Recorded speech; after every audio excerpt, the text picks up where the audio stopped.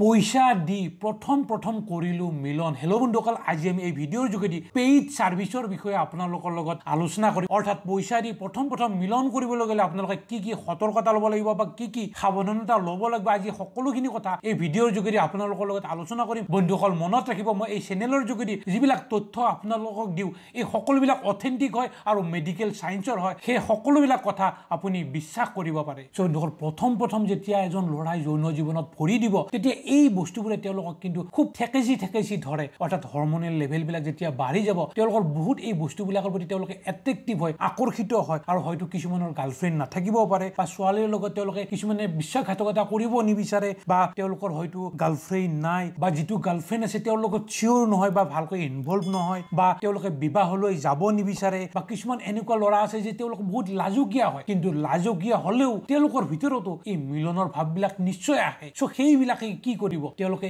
এই পেইড ছাৰ্ভিচৰ প্ৰতি তেওঁলোকে আকৰ্ষিত হয়। আৰু বন্ধুবৰ্গৰ কাৰণেও কিছুমানে এই বস্তুটোৰ প্ৰতি যাব লগা হয়। বন্ধুবৰ্গই তেওঁলোকক হেঁচা দিয়ে যে let's experience it let's do it এনেকৈ তেওঁলোকে কি কৰে? এই বন্ধুবিলাকে কি কৰে? তেওঁলোকৰ ওপৰত হেঁচা দিয়ে। যদি যাব নিবিচাৰে কয় তুমি ল'ৰা নহয় তুমি মৰদ নহয় এনেকুৱা ধৰণৰ বিভিন্ন ধৰণৰ হেঁচা তেওঁলোকৰ ওপৰত আহি পৰে। চ' বন্ধুসকল প্ৰথম কথা হ'ল যে ৰিয়েল থিংকাৰৰ ফালৰ পৰা মই আপোনাক এই কথাটো জনাব বিচাৰোঁ যে এই বস্তুটো মই হাণ্ড্ৰেড পাৰ্চেণ্ট শুদ্ধ বুলি নাভাবোঁ বা হাণ্ড্ৰেড পাৰ্চেণ্ট ভাল বুলি নাভাবোঁ। তাৰ প্ৰথম কাৰণ হ'ল বন্ধুসকল পাৰফৰ্মেঞ্চ বন্ধুসকল যিমান ভাল এনভাইৰমেণ্টত আপুনি এই কামটো কৰিব সিমানে আপোনালোকৰ কি হ'ব? ভাল হ'ব। যিমানে ছেফ আৰু ৰিলেক্স এনভাইৰমেণ্টত আপুনি এই কামটো কৰিব সিমানে আপোনালোকৰ পাৰফৰ্মেঞ্চ কিন্তু বাঢ়ি যাব। ইয়াৰ পিছত বন্ধুসকল আপুনি এনেকুৱা এগৰাকী মানুহৰ লগত এই কামটো কৰিব গৈছে যাক আপুনি আগতে ভালকৈ নাজানে বা আপোনাক এটা পাৰ্টিকুলাৰ টাইম দিয়া হ'ব যে ইমানখিনি সময়ৰ ভিতৰত তুমি কাম কৰিবই লাগিব। আধা ঘণ্টা বা এক ঘণ্টা সময় দিব এইখিনি ভিতৰতে আপোনাৰ গোটেইখিনি হ'ব লাগিব। গতিকে সিমানখিনি সময়ৰ ভিতৰত বা সেই মানুহগৰাকী যাক আপুনি ভালকৈ নাজানে তাৰ লগত আপুনি কিন্তু সিমান ভালকৈ মিলন কৰিব নোৱাৰিব। মিলন কিন্তু আপোনাৰ হ'ব জাষ্ট ৰসখিনিহে পেলাই থোৱা হ'ব বেলেগ কিন্তু একো নহ'ব। চ' এনেকুৱা হ'লে কিন্তু পিছত ফিউচাৰ জীৱনত আপোনাৰ কিন্তু কিছু সমস্যাই দেখা দিব পাৰে। ইয়াৰ পিছত হ'ল বন্ধুসকল আনছেফ আৰু নট চুইটেবল এনভাইৰমেণ্ট বন্ধুসকল বহুতো ক্ষেত্ৰত এইটো দেখা যায় যে যিখিনি ঠাইত আপুনি এই পেইড ছাৰ্ভিচ মিলন কৰিবলৈ গৈছে সেইখিনি ঠাই আপোনাৰ কাৰণে ছেফ নহ'বও পাৰে। বহুতো ক্ষেত্ৰত দেখা যায় যে কিছুমানে মিলন কৰিবলৈ গৈছিল কিন্তু তেওঁৰ পৰা যিখিনি পইচা পাতি থাকে বহুতো ক্ষেত্ৰত আমি এই কথাবিলাক শুনা পাওঁ যে মিলন কৰিবলৈ গৈছিল কিন্তু পইচা পাতি ৰাখি পেলাই লগত যিখিনি পইচা পাতি আছিল ৰাখি পেলাই পঠাই দিলে। গতিকে হয়তো সেইখিনি ঠাই আপোনাৰ কাৰণে ছেফ নহ'বও পাৰে আৰু যিখিনি এনভাইৰমেণ্টত আপুনি গৈছে সেইটো আপোনাৰ কাৰণে চুইটেবল নহ'বও পাৰে। সেই এনভাইৰমেণ্টটো আপোনাৰ কাৰণে ভাল নহ'বও পাৰে। আপুনি যিখিনি ঠাইত মিলন কৰিব গৈছে সেইখিনি খুব লেতেৰা হ'ব পাৰে। য'ত মিলন কৰিবলৈ গৈছে সেইখিনি ঠাইত আপোনাৰ আগত বা কোনে মিলন কৰি থৈ আহিছে সেইটো কিন্তু আপুনি নাজানে। গতিকে বিভিন্ন ধৰণৰ মেডিকেল প্ৰব্লেম আপোনাৰ তাত আহি যাব পাৰে। সেয়েহে বন্ধুসকল প্ৰথম প্ৰথম যদি পইচা দি আপুনি মিলন কৰিবলৈ গৈছে এই কথাবিলাক আপুনি মনত ৰাখিব লাগিব।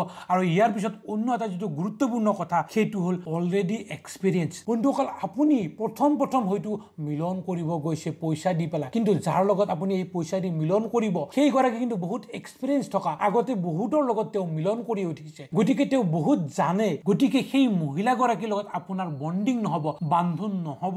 যাৰ কাৰণে কিন্তু আপোনাৰ হয়তো লিংগ থিয়ই নহ'ব আপুনি মিলন কৰিবই নোৱাৰিব। বা এনেকুৱা হয় যে বহুতে গ'ল পইচা দি গুচি আহিলে তেওঁৰ কিন্তু মিলন কৰিবই নোৱাৰিলে। গতিকে এনেকুৱা কিন্তু আপোনাৰ ক্ষেত্ৰতো হ'ব পাৰে। চ' বন্ধুসকল যদি আপোনালোকে প্ৰথম প্ৰথম এই মিলন কৰিবলৈ পইচা দি মিলন কৰিবলৈ যাম বুলি ভাবিছে মই আপোনালোকক ৰিকুৱেষ্ট কৰিছোঁ যাতে আপোনালোকে এই বস্তুটোৰ ফালে নাযায়। মই সেইসকল ল'ৰা সেইসকল পুৰুষক বহুত ৰেচপেক্ট কৰিছোঁ বহুত মৰম দিছোঁ মোৰ ফালৰ পৰা। যিসকলে মহিলাসকলক মিলন কৰা পুতলা বুলি নাভাবে বহুতোৰ এনেকুৱা আছে যে তেওঁলোকৰ গাৰ্লফ্ৰেণ্ড আছে বা তেওঁলোকৰ বিবাহো ঠিক হৈছে কিন্তু তেওঁলোকে মিলন কৰা নাই। তেওঁলোকে ভাবিছে যে আমি বিবাহৰ পিছত মিলন কৰিম। গাৰ্লফ্ৰেণ্ড আছে গতিকে সেই ক্ষেত্ৰত যদি আপোনালোকে বিবাহ দেৰিকৈ কৰিব বিচাৰে বা আপোনালোকৰ গাৰ্লফ্ৰেণ্ড আছে কিন্তু আপোনালোকে এতিয়া মিলন কৰিব বিচৰা নাই যে মোৰ এইটো লাইফ পাৰ্টনাৰ হ'ব যেতিয়া বিবাহ হ'ব মই তেতিয়া মিলন কৰিম। সেই ক্ষেত্ৰত আপোনালোকে কি কৰিব পাৰে যে আপোনালোকে হস্ত অভ্যাস কৰিব পাৰে। হস্ত অভ্যাস এটা ভাল অভ্যাস কিন্তু এটা লিমিটেড আপোনালোকে সীমা পাৰ হৈ নাযাব। এটা লিমিটেড পৰিমাণে যদি আপোনালোকে হস্ত অভ্যাস কৰে তেনেহ'লে আপোনালোকৰ কিন্তু স্বাস্থ্যৰ ক্ষতি নহয়। ইয়াৰ ওপৰত মোৰ বহুত ভিডিঅ' আছে আপোনালোকে সেইবোৰ চাব পাৰে। চ' বন্ধুসকল ইয়াৰ পিছতো যদি আপুনি এই প্ৰচেছটোক এই পইচা দি মিলন কৰিব যাব বিচাৰে তেনেহ'লে কিছু প্ৰিকশ্যন লয় কিছু সাৱধানতা লৈহে যাতে আপুনি মিলন কৰে। আপোনালোকে গোটেই কমেও এটা হ'লেও বেলুন পিন্ধিহে মিলন কৰিব। পাৰিলে আপোনালোকে ডাবল বেলুন পিন্ধি মিলন কৰিব কিন্তু যদি ডাবল বেলুন নহয় এটা হ'লেও আপোনালোকে এই বেলুন পিন্ধি মিলন কৰিব। আপোনালোকে যিমান পাৰে ছেফলি মিলন কৰাৰ কাৰণে চেষ্টা কৰিব। যদি আপোনালোকে চুম্বন কৰিব বিচাৰে তেনেহ'লে মই পিকচাৰত দেখুৱাই দিয়া ধৰণে এই বস্তুটো লগাইহে আপোনালোকে চুম্বন কৰিব। এনে কিন্তু চুম্বন কেতিয়াও নকৰিব। যদি আপুনি এই প্ৰথমবাৰ মিলন কৰিব যাওঁতে ভালকৈ মিলন কৰিব পৰা নাই তেনেহ'লে এই বস্তুটো আপোনাৰ দিমাগত আপোনাৰ ব্ৰেইনত সোমাই নল'ব। কাৰণ বহুতে কি হয় প্ৰথম প্ৰথম যেতিয়া মিলন কৰিব যাব তেওঁ ভালকৈ নোৱাৰে। আৰু সেই ক্ষেত্ৰত কি হয় কিছু ক্ষেত্ৰত আমি এই বস্তুটো দেখা পাওঁ যে সেই মহিলাগৰাকীয়ে সেই ল'ৰাজনক গালি দিয়ে যে তোৰ কামেই নাই তই কৰিবই নোৱাৰ নেক্সট টাইম তই মোৰ ওচৰত নাহিবি। এই কামটো তোৰ বাবে নহয়। গতিকে এনেকুৱা ধৰণৰ কথা ক'লে কি হয় সেই ল'ৰাবিলাকৰ ব্ৰেইনত এই বস্তুটো আঘাত পৰি যায় আৰু নেক্সট টাইম তেওঁলোকে ভাবে যে মই গাৰ্লফ্ৰেণ্ডৰ লগত নোৱাৰিম নেকি? মই বিবাহ কৰিলে এই কামটো কৰিব নোৱাৰিম নেকি? চ' এই ক্ষেত্ৰত আপুনি সেই কথাটো দিমাগত কেতিয়াও নাৰাখিব। নেক্সট টাইম আপুনি নিশ্চয় পাৰিব। প্ৰথম প্ৰথম এনেকুৱা সকলোৰে হয়। পিছত আপুনি নিশ্চয় পাৰিব। চ' বন্ধুসকল এই ভিডিঅ'টোৰ শেষত মই আপোনালোকক এইটোৱে ক'ব বিচাৰিছোঁ যে যিমান পাৰে আপোনালোকে এই বস্তুটো পইচা দি মিলন কৰা এই বস্তুটোৰ পৰা আঁতৰত থাকিব। যদি আপুনি গৈছিলো আপুনি এতিয়া ষ্টপ কৰি দিয়ক। কাৰণ এই বস্তুটো সিমান ভাল নহয়। আৰু লগতে বন্ধুসকল যদি আপোনাৰ গাত এই বস্তুটো আছে মিলনৰ এই ভাৱবিলাক আছে মিলনৰ বস্তুবিলাক আপোনাৰ ব্ৰেইনত খুন্দিয়াই আছে তেনেহ'লে আপোনালোকে হস্তভ্যাস কৰিব পাৰে এটা লিমিটত এই যিখিনি কথা মই ক'লো খুবেই গুৰুত্বপূৰ্ণ কথা মই আপোনালোকক অনুৰোধ কৰিছোঁ এই ভিডিঅ'টো যিমান পাৰে আপোনালোকৰ বন্ধুবৰ্গৰ হোৱাটছএপত শ্বেয়াৰ কৰিব যাতে সকলোৱে এই কথাবিলাক গম পায়। এই ভিডিঅ'টো যিমান পাৰে আপোনালোকে লাইক কৰিব আৰু আমাৰ এই চেনেলটো যদি আপোনালোকে এতিয়ালৈকে ছাবস্ক্ৰাইব কৰা নাই তেনেহ'লে ছাবস্ক্ৰাইব কৰিব। কাৰণ মই সকলো সময়তে মেডিকেল চাইকলজিকেল আৰু যৌন সম্পৰ্কীয় বিভিন্ন ধৰণৰ তথ্য মই এই চেনেলৰ যোগেদি আপোনালোকক সদায় দি থাকোঁ। চ' ফ্ৰেণ্ডছ আজিলৈ মানে অহাকালি আৰু এটা নতুন টপিক লৈ আপোনালোকৰ ওচৰলৈ আহিম। তেতিয়ালৈকে বহুত বহুত ধন্যবাদ।